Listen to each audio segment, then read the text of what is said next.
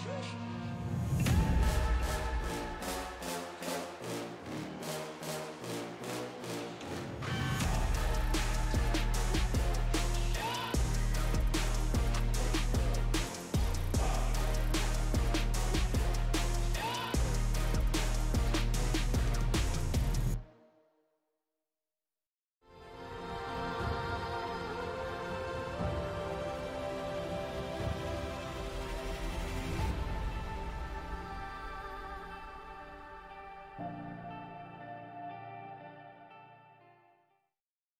Netflix made a deal with J Lo a few years back with her production company. She made two films, uh, Mother and something else, and they actually did pretty well. So then Netflix decided, let's go ahead and make another exclusive deal, and then we end up getting this with her production company. So we got Atlas with her and Sterling K. Brown. And it's basically, as it describes, a bleak sounding future where an AI soldier has determined that only one way to end the war is to end humanity which is it's a plot we we have heard before, and some people actually believe in it. You know, uh, go Thanos. But um, let's go ahead and let's go ahead and get into this reviews. Uh, first impressions. I want to start with JS1. What was your first impression when you when you when you saw this trailer, sir? Um, I couldn't wait to get in here and bash it. Um, the trailer looked like trash. Uh, I felt like this this this this corporate warmongerer was going to come in and destroy the one of the most beloved genres of my personal life. I love sci-fi and fantasy, and I felt I feel like this person this this money hungry beautiful sexy latina was going to destroy my life and my childhood with her with her little production deals and and and, and, and just that's that's that's what's going to happen. So I, got you. I, all right. I love I love how the negative still was able to find some way to slide in the beautiful sexiness. You know, she. I have to be honest, but we have still hot as hell. She's still hot. She's, that, and she's smart. Not Let's not get it twisted. She's smart and she's hot, which makes her right. even hotter. So whatever. I got you. I got you. All right. Uh, how about you, Iris? What were your initial impressions? Um, I like anything sci-fi, and I don't really hate on J Lo like the rest of society does. Mm-hmm. Um, you know, she is who she is. I wouldn't say she's still from the block because she's not. Pero, pero, uh, I was I was a little excited to see her movie. Um, you know, something, you know, I wouldn't say different with her, but she's not really. I, I she doesn't really do a lot of like sci-fi. It's more like drama and you know shit like mother and and enough and stuff like that you know? So i was like okay it, it would be good to see her in, in somewhat of a different genre than she than what she usually does you know with her rom-coms and things like that. Mm-hmm. so um i was willing to give it a chance. Okay okay. How about you dad panther um, I I want to say that past J Lo, you know, Mother maybe all the way back to like Selena and some Maid in Manhattan in between, like loving J Lo and the music, whether it's I'm real or not. But I feel like as of late, I am Ben Affleck stuck in the car, and I'm like I'm just annoyed by this person. So the first time I saw the trailer, I love sci-fi, but as soon as I saw who was on the fucking screen, I think you guys had me on record for just looking away. So, you know, that take it for what it is. Okay. Okay. All right. I'm I'm sorry, Ben Affleck, but uh, for me, I actually, even though J Lo her as a person, I'm not a fan of. Um, I did enjoy the last two Netflix originals that she, they, she dropped. I was surprised that they entertained me as much as they did. So when I when I saw this trailer, I was like, you know what, I'm gonna give it a shot. Even though I could kind of sense Sterling K. Brown was maybe not gonna really feature in the film, I thought it was still worth worth a watch. Worth a watch. So highs and lows. I want to just actually just go back in reverse. The Dad Panther. Why don't you tell me how you felt about this movie? Okay, so I'll go into basically what my my lows were. My lows were the movie was too long, too long of a movie. I thought they could have wrapped it up a little sooner. Um, the pacing was an issue. There was times where it was picking up and it was like, "Hey, she's the smartest ever," and then let's go into the action, and then, and, and the two spots that I'll say for the the things that I liked was it I love the fact that it had that futuristic look where advertising was everywhere and we're flying ships. Um, apparently, we can't get out of our head that at some point in the future we'll be flying ships, and I think it's going to be the same we got now. The the other bonus was the fact that the story was so real it was so real and was so gripping. And I mean that honestly. Like you had Sterling K. Brown, who was he seemed just annoyed at J Lo that J Lo was thrown into the mix. She's the smartest in the room. She's real. She's from the Bronx. She's from the streets, and you were just forced this. And no one seemed to like J Lo. It doesn't make any sense. No one seemed to like her, but she's the one person for this job. But you can see that from Sterling K. So the realness of that, I really appreciate how real that felt. Now watching this movie, no spoilers for the most part. There's a scene, and this is what I mean by how real it is. There's a scene where she hits her head on on a dashboard or something as she's responsible for lives that could be lost but she asked to be here. She still can't make choices for people who could possibly lose her, their lives. And i was like that's real because i feel like that could happen. And when she hits her head i don't know my hand must have slipped on the remote and i went all the way to the credits and that's exactly what i saw. Oh my goodness. And so i thought it, i thought it was genius for um, the editing on that So you're you're telling me that you saw the version that Ron the Dad Panther Mitchell edited? That's what you saw. Yes, and give or take how people are talking about around the world, number one movie, my ass. I'm sure a lot of people would have loved my version much better. Okay, all right. Well, I, I appreciate that input, sir. Iris, if you could, uh, don't forget to unmute yourself. Okay, I understand. I understand. How about JS1? Why don't we go ahead and move over to you, sir? Let's get your your review. How's it knows how you felt about this movie, sir? First of all, I would like to say that I really appreciate Ron's perspective. You know, that the, the way he illuminated these points and then showed these parallels between real life and filmmaking, stunning. Stunning. And it is very embarrassing that I'm gonna have to at this point disconnect with him completely. Uh and disconnect from myself because I I I want I want to hate J Lo. You know what I'm saying? I, I really do. I want I want to hate this film. I want to be like I, I I got my popcorn and my soda and my drinks and my you know mad cigars. I had like a half a bottle of whiskey. I was ready to spend the night going f that fine chick, but but and I went into it and it was dumb. The first wasted 15 20 minutes of her normal everyday life didn't need it. It was dumb um, all of these very over the top ways of you trying to establish her intelligence. But do you want to continue playing chess? And then all these little subtle accoutrements to prove that she's the one. I felt like a little over top and silly, but must remind myself this is multi. Uh, this is a purposefully multi generational film. So you gotta have stuff for the dummies. You gotta have stuff for the smarts. So I kind of have to let that ride. And it wasn't it wasn't bad, bad. It's just, hey, I watch a lot of movies. So I gotta and, and I think like that's what us reviewers do sometimes. We don't always take into account that we watch a lot of movies. So we become, as we go further and further into our experiences, we start really becoming more and more and more critical. That's just me personally. I'm a I'm a, just a critical person. So so I relaxed myself and I said, she's gonna screw this up way more down the road. Just sit back and let it happen. Um, I was right. Things started going bad. Um, not because the stuff was bad. It's just that she's not the best actress. And I've said this before. She really only has two tones. She's got three tones. She's got the angry, I'm a, I'm a, I'm a F you up tone. She's got the uh trying to be cute and sweet, kind of like witty, you know, talky New Yorky thing. And then she's got the uh she's got the crying thing. That's really the only three tones that she has. So like this film kind of require her to have a little bit more range, but but she doesn't. So what she'll do is, is sometimes she'll inappropriately put one of those three personalities into a scene, and it makes it a little jarring. Like, why are you doing that?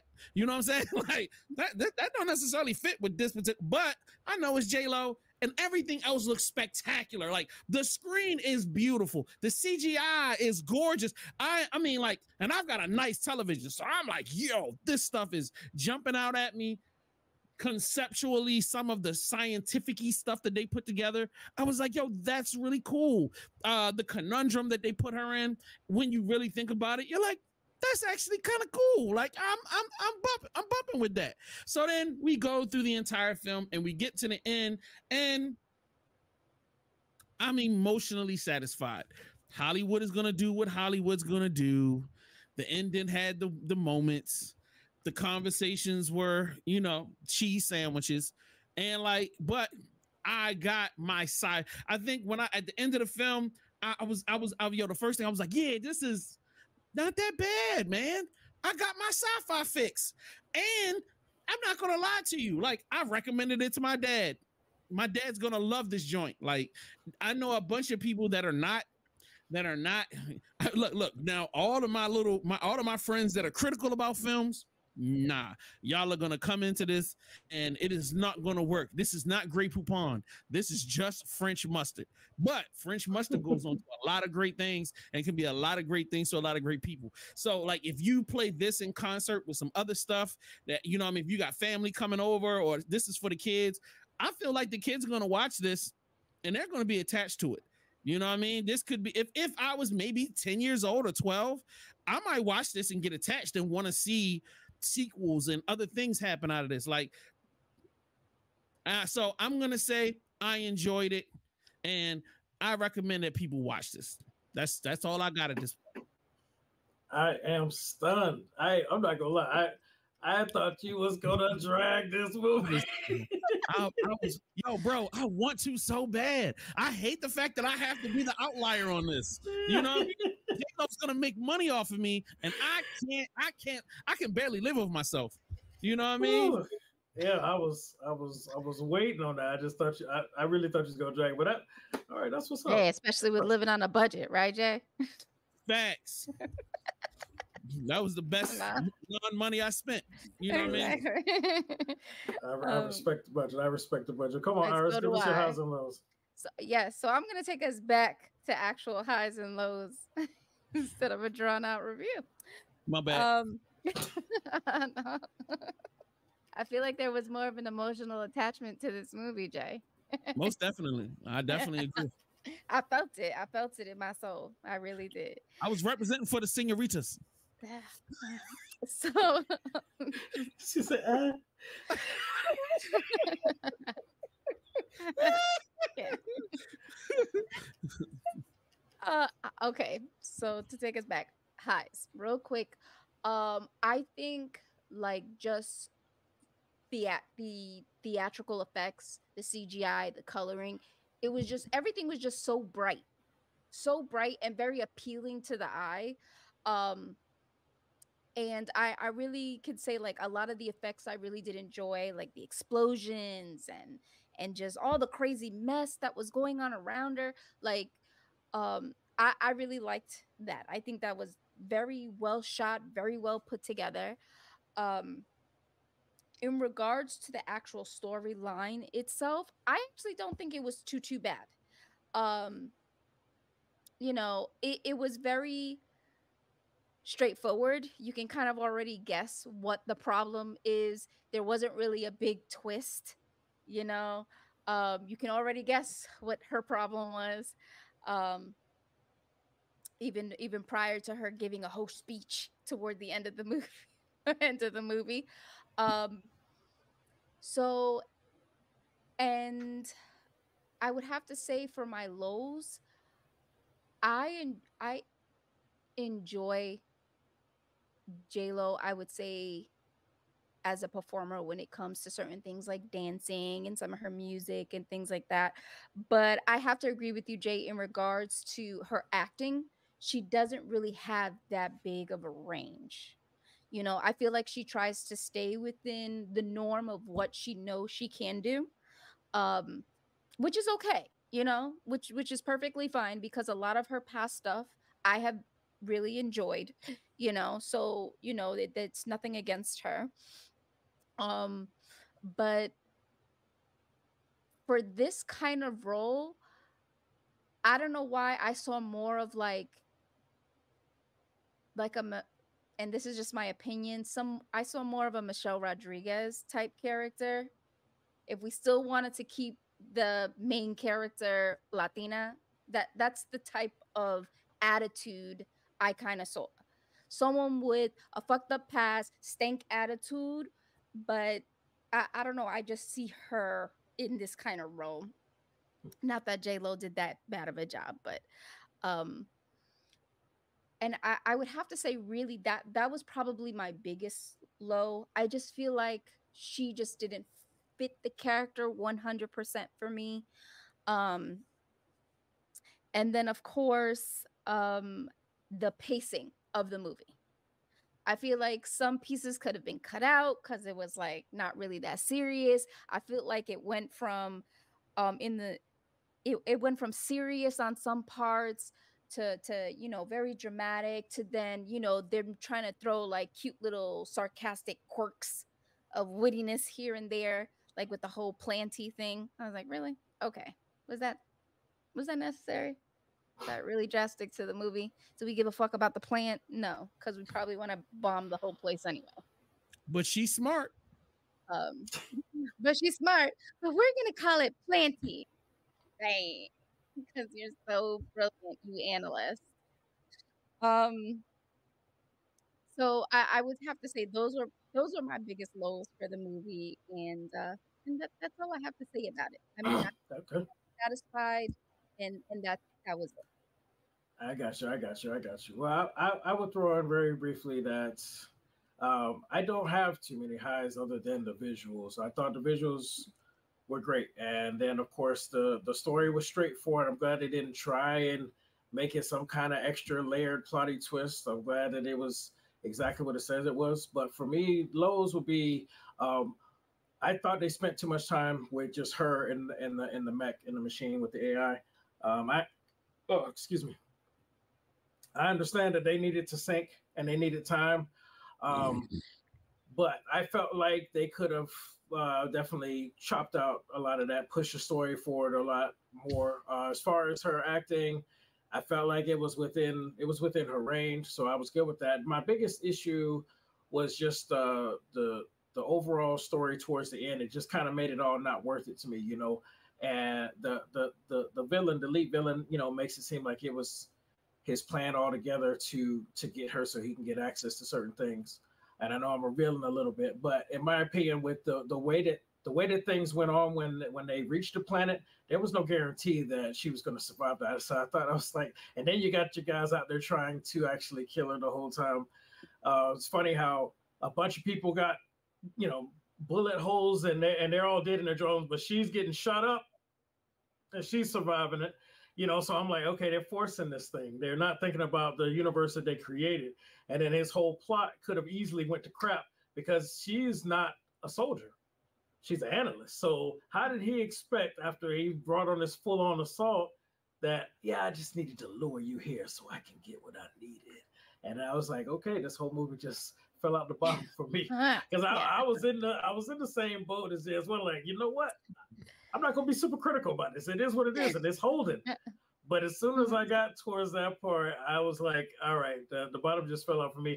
And then the logic on the on the on the military, the, that or the I don't know what if they're military, the coalition of nations. Uh, uh, when that when they lost communication and they they realized that they they might be in an imminent threat. I was really surprised at how they handled that. I really thought, you know, if Plan A didn't work, but we know where this guy is, we're just gonna blow that planet out of the uh, atmosphere. And no, they still, you know, came in to save the day. I'm spoiling this movie. I'm sorry. Let's go ahead and, and rate this bad boy. I want to start with you, Iris. How you feeling? Is it a classic? Good watch, catch on streaming, not doing it for me. Mm, it's no. not doing it for me. Oh, no. Or, you want to wait for the rest of it, or I, yeah, it just if you ever show me this again, me. I will. She about to give it to him. She like, man, yeah, this. it's just it's not doing it for me. It's not. It's not something I would watch again. It's not something that I would be like, oh, Atlas, eh, fuck it, let's watch it. Like, no, nah, I'm good. I I rather watch Sesame Street. Okay, okay, all right, all right. JS one. Um, that's a really good question. Uh, but I'll run it back again. Classic good watch, catch on streaming, not doing it for me. Oops, sorry. Oh hell Or if you ever show me this again, I will. All right. So um yes, I'm going to give this a catch on streaming. Uh I did enjoy this film. I know I've just trashed it for X amount of time and then flipped around and gave it good praise. Um no, I, I I genuinely enjoyed it, and I'm so I was so shocked that I would have to come in here and say something, but I'm going to catch it on streaming. And um, I didn't know she had a production deal with Netflix, but I heard about that film Mother, I think, mm-hmm. and um, yeah, I heard it was really bad. So I'm thinking I might go and catch that go, one go too. Check it, go check it out. It was it, it was basically on the same level as this, in my opinion. the same way you felt it then, like you know what, it's, it's good enough. It's good enough. That's how I felt about Mother. Yeah, so I'm, I'm gonna save Panther for last. Uh, so I, am gonna give my rating now. Um, for me, I'm gonna I'm gonna have to go with not not doing it for me. It was not it was not the worst thing I've ever seen. It just it just it just didn't do it for me. That's you know, like I said, the villain's whole plan and everything. Just, the bottom kind of fell out for me uh, and all that stuff. All right, Dad Panther. Uh, Jess, not doing it for go, me. Go, oh, he didn't want to give the. No, the I'm not going to waste your. I'm not going to waste your time. Not going to waste the viewers' time. Don't watch it. There you go. Don't watch it. So, so uh, it sounds like if I ever show you to you again, you'll slap somebody. But no, no, no, no, no. This it's all love here. The little bit I saw was great. Oh yeah. Opening credits and ending credits. Boom. Best movie ever. wow.